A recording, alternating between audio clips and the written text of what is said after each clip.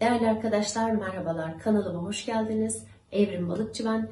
Bugün de yeni çıkmış olan kitabım hakkında e, içeriklerini merak ediyorsunuz, başlıkları merak ediyorsunuz. Bu konuda sorular geldi sizden. E, ben de zaten bu kısmı da aslında paylaşmak istiyordum ama sizlerden de soru geldi. Ruhsal uyanışın zekası eskiyor.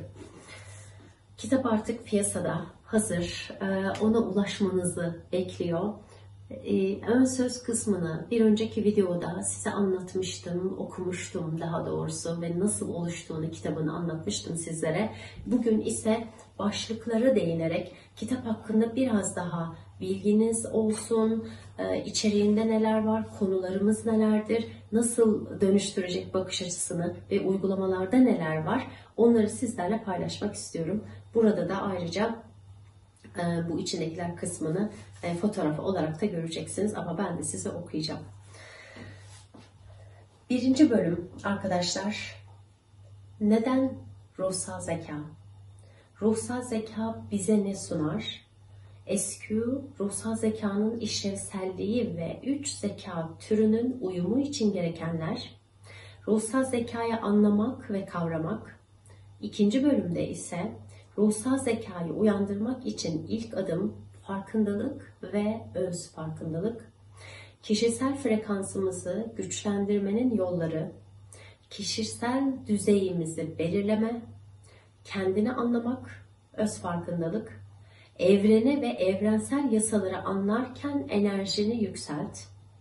Ruhsal zekayı uyandırmak için ikinci adım anlayış ve empati, Ruhsal zekayı uyandırmak için üçüncü adım soruları seçmek, doğru soruları sormak.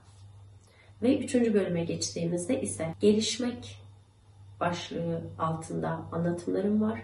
Ayrıca ben olmaktan biz olmaya ve bütün insan olmaya neden çocukluk travmalarını ve geçmişimizi tekrar ederiz? Karma, darma ve çözümler. Aynalık meselesi, evrenin dilini ve işaretlerini okumak, evrenin sınaması. Dördüncü bölüme geçtiğimizde ise ruhsal zekanızı ölçebileceğiniz 13 madde. Ruhsal zekamız nasıl gelişiyor? Ruhsal zekayı açığa çıkarmak, bireysel olarak dinginlik ve farkındalık ile ki bu kitabın amacı budur veya ikinci seçenek çarpıcı ve sarsıcı olaylar aracılığı ile.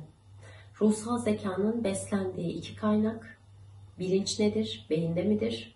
Epifiz bezi, kalp gözü ve ruhsal zeka. Ve beşinci bölüme geçtiğimizde ise değerli arkadaşlar, yüksek bilinç ile yaşamak, yüksek frekans enerji akışı altındasın, vicdan, çok istemenin ördüğü duvarlar, Akışa bırakmak mı, ısrar etmek mi, vazgeçmek mi? Tesadüfleri anlamak, anda olmak, olana direnmemek, akışa güvenmek, teslimiyet ve tevekkül konularını anlattığım bir bölüm var. Esnek olmak, öfkeyi anlamak, acı ile imtihanımız ve adalet mekanizması, beynin en güzel yeteneği plastisite, inancın gücü ve büyüsü, plasebo etkisi, epigenetik, öyleyse yeni bir zihin yapısı oluşturabilir miyiz? Anlamı değiştir, ölümü anlamak, korkuları aşmak, ruhsal şifa, şifa ruhsaldır. Ve altıncı bölüme geçtiğimizde ruhsal zekayı güçlendiren yollar, uygulamalardan önceki özet, dengeyi sağlayacak olan ruhsal zekanın birleştiriciliği. Ve yedinci bölüm, ağırlıklı uygulamaların da olduğu son bölüm arkadaşlar. Ruhsal zekaya aktive ederek kendin ile buluşmak, öz benliğini deneyimlemek, yeniyi zihin ile değil kalp ile yaratırız. Geçmişi anlamak ve şifalandırmak, travmatik, olumsuz anılar, geçmişi dönüştürme, geçmişle barışma ve arınma çalışmaları, geleceğe dair kaygı ve korkulardan kurtulmak, erteleme alışkanlığını kırma uygulaması, hayır diyebilme uygulamaları, olumlamalar veya afirmasyonlar, şükürlerin listesi oluşturma, geleceği inşa etmek, uygulama, gerçekleşen hedeflerin listesi, meditasyonlar ve son olarak kendini gerçekleştir kısmı 7. bölüm uygulamalarla sonlanıyor kitap arkadaşlar. Kitabın son kısmında sizin için ayrılmış benim yolum defterim başlığı altında kitap bittikten sonra son kısımda boş sayfalar göreceksiniz. Buraya e, kitabın içinde yer yer bazı konularda uygulamalar ve farkındalıklarınızı e, not alın dediğim bölümler var. E, o bölümleri okudukça buraya kendinizle ilgili benim yolum defteri kısmını doldurabilirsiniz. Böylece elinizin altında bir rehber olacak bu kitap. E, defteri de sayarsak yaklaşık 328 sayfadan oluşuyor kitap.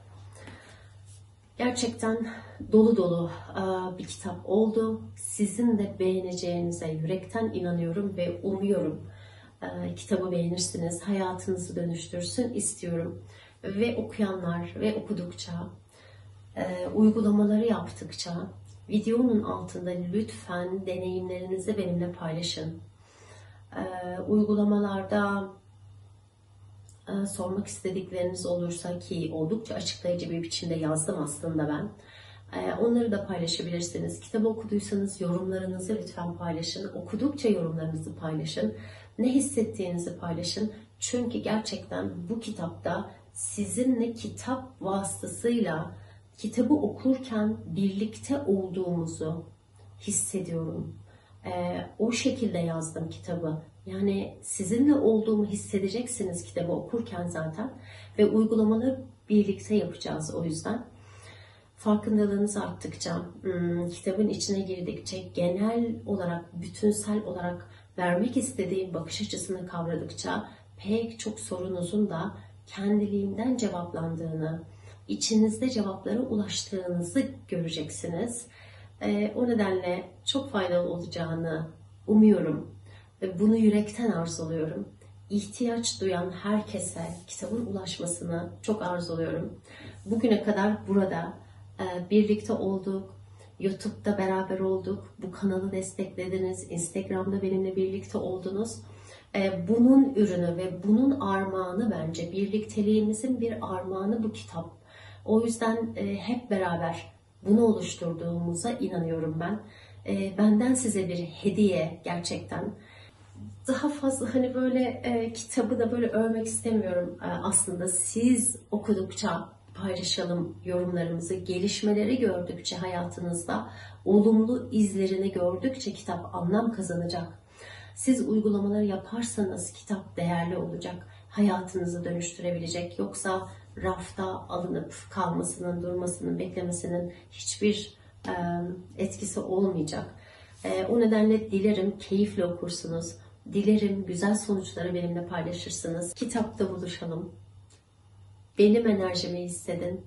Ben sizin enerjinizi hissederek yazdım. İhtiyaçlarınızı hissederek yazdım. O yüzden bu kitapta buluşalım arkadaşlar. Elimden geldiğince sorularınıza yanıt vermeye çalışıyorum. Vakit oldukça ama çok yoğunum gerçekten. Ee, yine de e, sorularınıza, videonun altında gelen sorularınıza e, yanıt vermeye devam edeceğim. Zaman oldukça, elimden geldikçe. Kendinize çok iyi bakın. Sizi çok seviyorum. Görüşmek üzere. Hoşçakalın.